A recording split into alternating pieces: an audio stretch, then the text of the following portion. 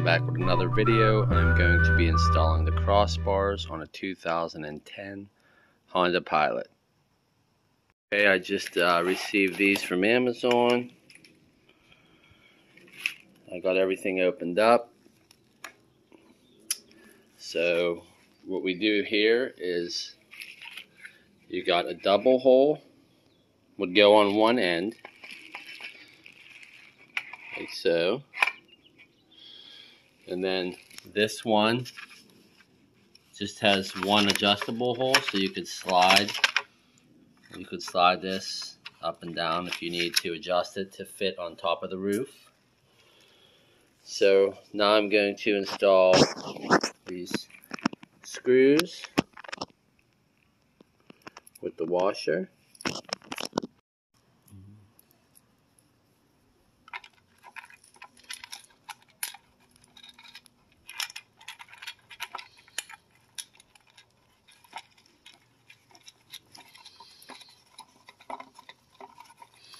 I'm going to leave these a little bit loose.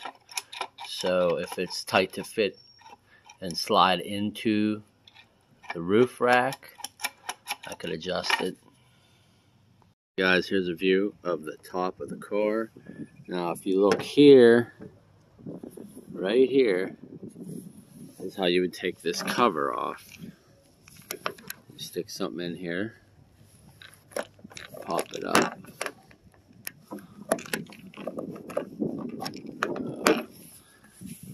second here.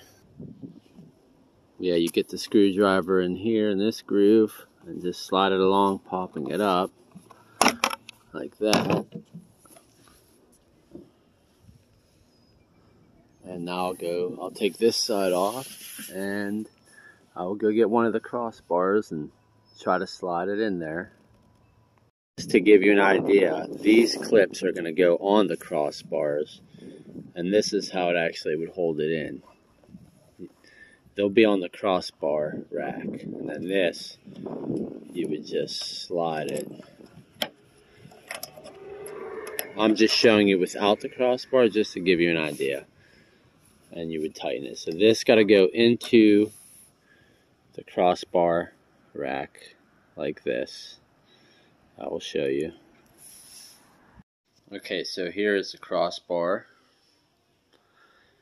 the piece that I was just showing you, you'd put this in here, and then you take this, like so. Oh, fell out. I'm going to set this fan down a minute, and I'll show you once I put it in. But this is going to go slide down in here and screw on. Okay, I have these two in right here.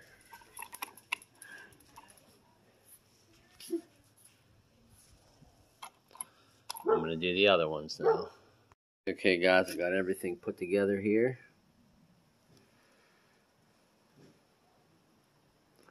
Now we'll go try to slide them on the roof.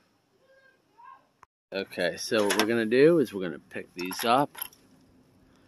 We're going to line them up and slide them into this track here. Try to do the best I can because I am the cameraman. Okay.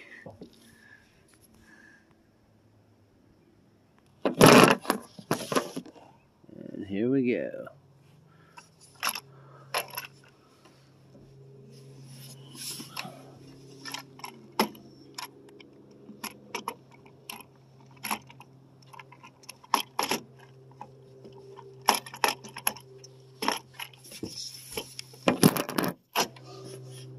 camera fell down but so I got one one section of it in I have to try to slide it up and get this one in there.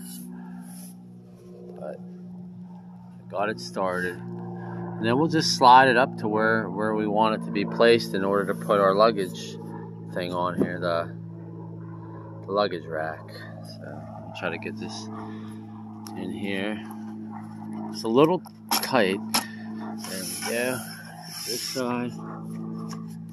There we go. Move this here.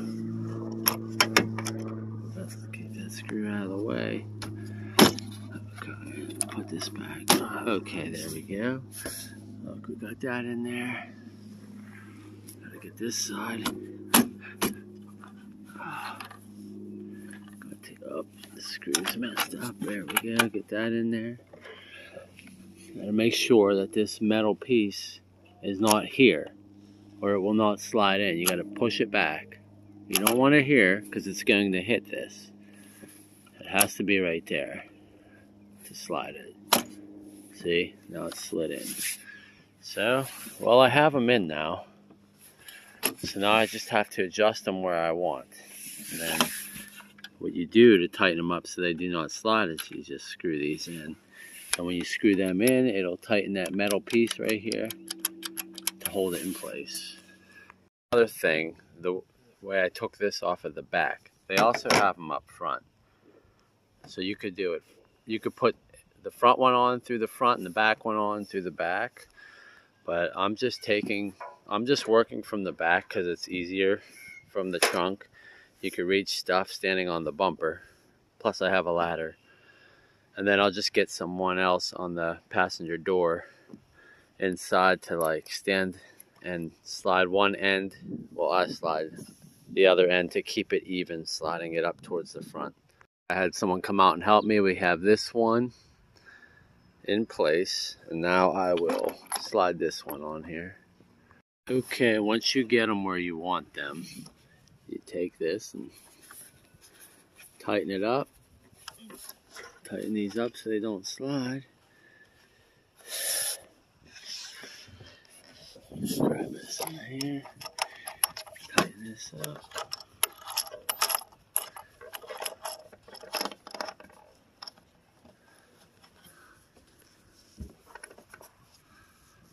This one here.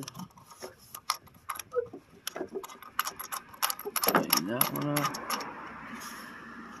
Okay, once you get that tightened up, you take this. Well, it looks like I gotta slide it up. I didn't bring it up far enough, so make sure you bring it up far enough. Loosen these back up to adjust it to where it needs to be. Just give it an old tap. I mean, these are tight to put in there. So when you're doing it, don't think it's like broken or anything. It's just really tight to slide up there and then snap this baby back on. This one back on. There we go. And that's it. It's done. I'm going to tighten these screws up too. Like I said, I left these loose under here. These Phillips in case I had to shift this back and forth a little bit. So I'm gonna have to get uh, a little screwdriver, get under here and tighten all those up. But that's it. It uh, I'd say takes about half hour or so to put them on.